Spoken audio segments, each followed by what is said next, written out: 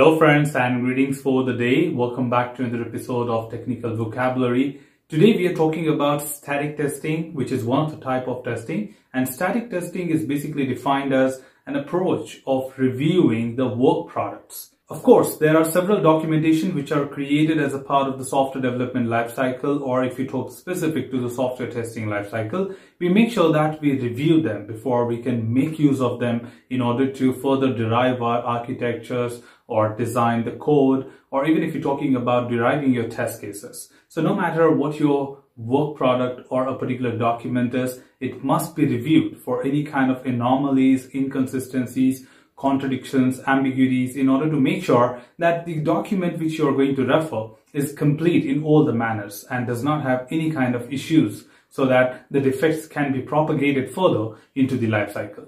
So yes, static testing is all about reviewing them and finding defects in the work products statically. That means there is no execution involved. That means you practically do not execute the code or the application. In fact, you don't have the application at that point of time. So you only have the work product with you, which you need to manually review, or maybe you can take help of tools to review certain architectures like control flow graphs, or, you know, you have your call graphs, uh, data flow diagrams, anything. So yes, but make sure one thing that when it comes to static testing, we do not have any execution involved. So what happens to the code review? Code review just deals with static so scenario runs or dry runs, which will definitely help you to find static uh, defects in the code.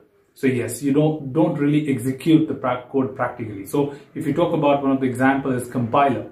Compiler verifies making sure that everything is meeting as per the syntax or standards and does meet all the expectations of the programming.